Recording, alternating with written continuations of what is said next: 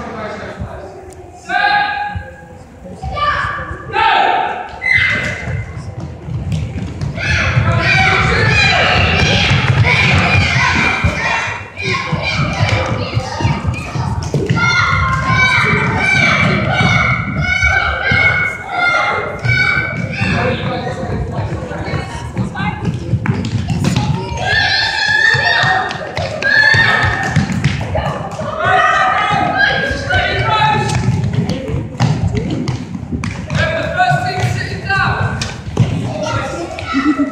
And I think they lost. Caleb started a little too late.